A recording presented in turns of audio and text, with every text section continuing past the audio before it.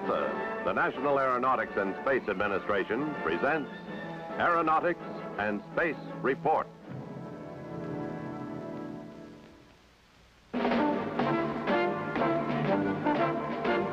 Nineteen sixty-eight, the year of Apollo, a year in which a decade of research and development began to be realized. The Apollo 3 manned spacecraft and moon rocket were proved ready for trips to the moon.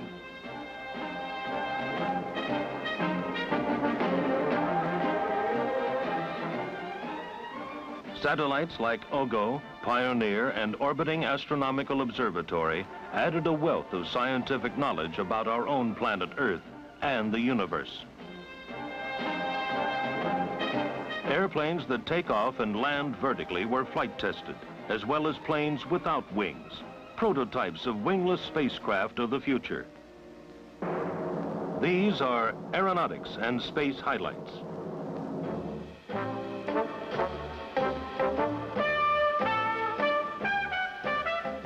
The moon, not nearly as mysterious as it used to be, has been photographed, landed on, dug into, and chemically sampled. Surveyor 7 was the last in a series of unmanned spacecraft to land there. Reflecting on Surveyor's contributions, Dr. William Pickering, Director, NASA's Jet Propulsion Laboratory. Surveyor accomplished everything that we had hoped for from that mission.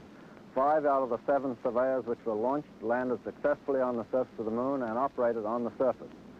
Uh, with the surveyor photographs, we were able to show that uh, a landing a manned spacecraft on the moon is quite a reasonable undertaking, uh, and, and in fact that the man will be able to walk on the surface of the moon without danger of falling through or sinking into the dust at any great depth. Uh, we were able to measure the bearing strength of the surface. We were able to get the uh, general appearance of the surface to point out that there were uh, that uh, in certain areas of the moon, at least, there were not very many large rocks which have to be contended with, uh, but there were, of course, numerous smaller and smaller craters. We also found the first chemical analysis of the surface of the moon by Professor Turkevich's experiment, and this showed that in the areas that we landed, the rocks, or the surface material rather, was very similar to a basalt here on the Earth. Uh, we were also able to dig in the surface and get an idea of the, uh, of the feel of the surface as uh, we went down a little bit below the surface. Uh, for a matter of a few inches, uh, the uh, material is, is very much like a soft sand to dig in. JPL is also applying its scientific know-how to Mars flying by initially, landing and testing in the future. The experimental model of a wheel-shaped planetary landing craft is one of several landers being considered.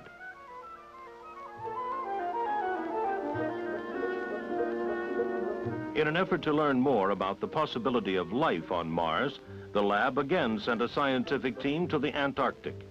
Carefully collected soil samples in this and other desert areas were returned and subjected to rigorous analysis. The sun, seething and turbulent, affecting every living thing on Earth. By studying it, we can learn more about our own environment. Interplanetary Pioneer spacecraft are doing just that. Two were launched in 1968. At one point in their voyage millions of miles into space, they pass directly behind the sun.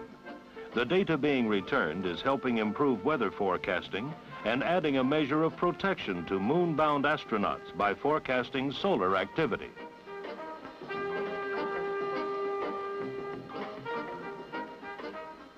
Also helping us learn more about the Earth's environment, Orbiting Geophysical Observatory, OGO-5. By studying such things as our magnetic field and radiation belt, solar flares, and solar wind, we gain new insight into the complex Earth-Sun relationship.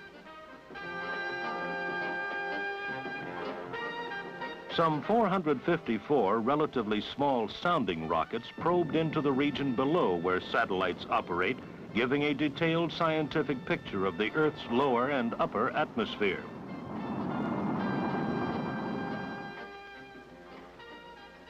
Radio Astronomy Explorer, one of five Explorer-type spacecraft launched. Here, Dr. John Findlay, Chairman, U.S. Lunar and Planetary Missions Board, explains its job.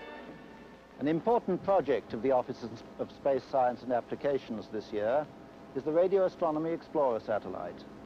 While ground-based radio telescopes, such as this 140-foot instrument, can observe at the short radio wavelengths, the Radio Astronomy Explorer will make its measurements at wavelengths of several hundred meters in fact, beyond the edge of the radio window. From the results of this satellite, we shall make maps of the brightness of the radio sky. And these will help us find out how our own galaxy generates and radiates radio waves. The heaviest and most sophisticated satellite to be launched in 1968 was the Orbiting Astronomical Observatory, OAO, the Earth's atmosphere limits and distorts the stars viewed by astronomers from the ground. But OAO rises above all this. Its 11 telescopes are viewing the stars with a clarity never before possible, mapping the skies and providing a better understanding of the origin of the solar system and universe. Shortly after launch, Nimbus B, an experimental weather satellite, plunged into the Pacific just off the coast of California when a gyroscope malfunctioned. Divers recovered two valuable nuclear-powered generators about 300 feet down. Advanced research and technology moved ahead on many fronts in 1968. The wingless HL-10 lifting body made 13 flights, including two with sustained rocket propulsion. The Flatiron-shaped craft gets its aerodynamic lift from the wingless body shape. Lifting bodies show promise as reusable spacecraft of the future, spacecraft that can land like conventional airplanes. After nine years and nearly 200 flights to the edge of space, the rocket-powered X-15 program was brought to a close with eight final flights in 1968. The half-plane, half-rocket X-15 has been a unique flying test bed for researching aeronautics and space problems.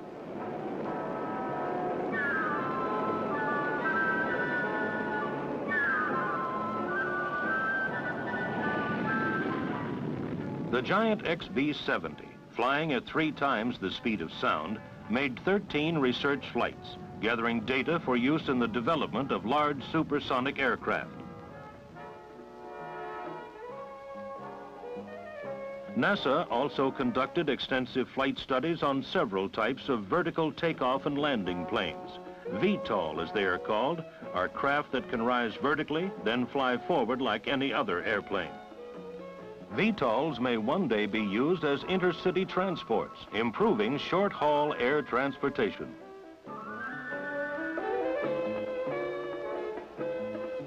Much aeronautical research is done with models. In this particular test, a highly instrumented model is dropped from a helicopter, then flown by radio control from the ground. This type of study makes the most rigorous test possible without endangering valuable planes.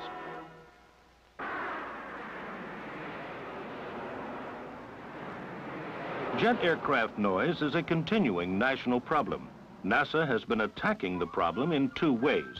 First, by attempting to design a new, quieter engine and second, by modifying existing engines so they make less noise. On this plane, engineers at the Lewis Research Center in Cleveland are trying out various engine modifications to determine the effect on the plane's performance.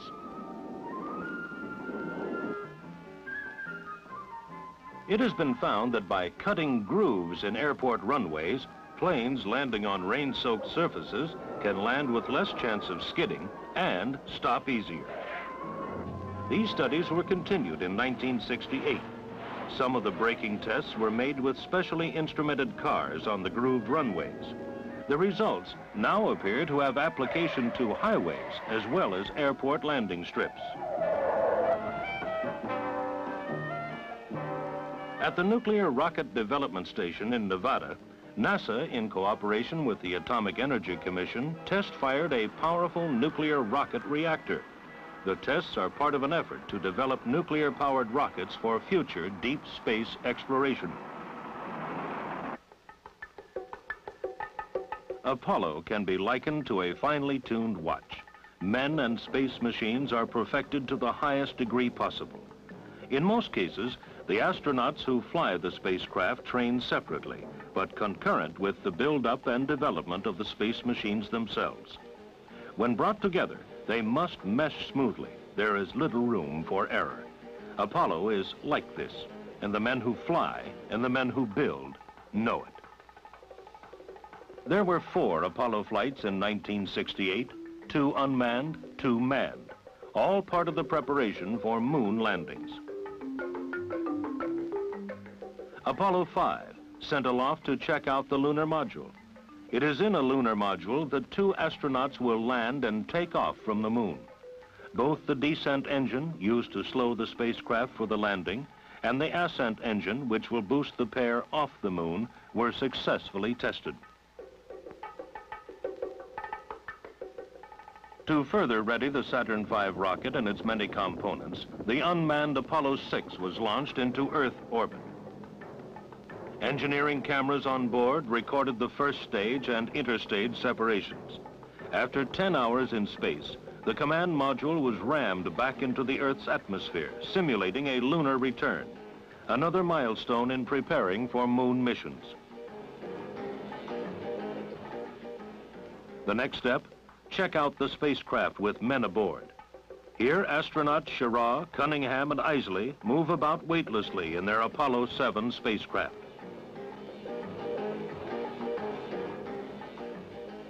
This was also the first full dress rehearsal for the Manned Spaceflight Tracking Network. 14 ground stations located in such places as Bermuda, Australia, Spain, and Hawaii, together with planes and tracking ships, kept a constant electronic ear tuned to the Apollo spacecraft. After 10 days and 163 revolutions, Apollo 7 splashed down in the Pacific paving the way for the first half-million mile journey to the moon and back.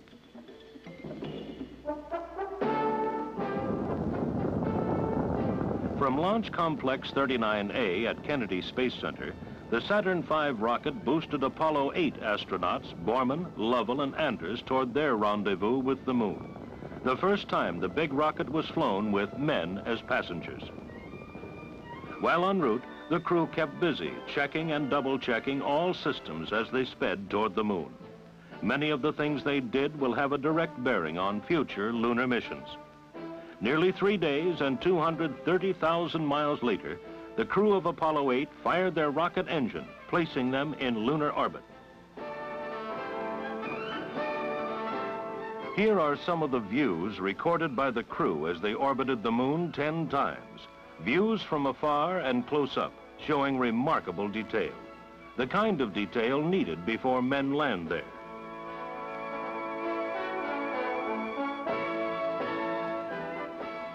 Then the cameras and spacecraft were turned toward Earth. And after three days and a fiery re-entry, landed in the Pacific within sight of the recovery ship.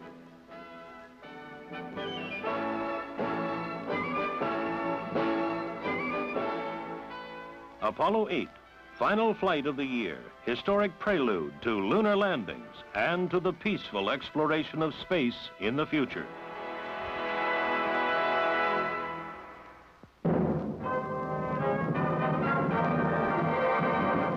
This has been an Aeronautics and Space Report presented by NASA, the National Aeronautics and Space Administration.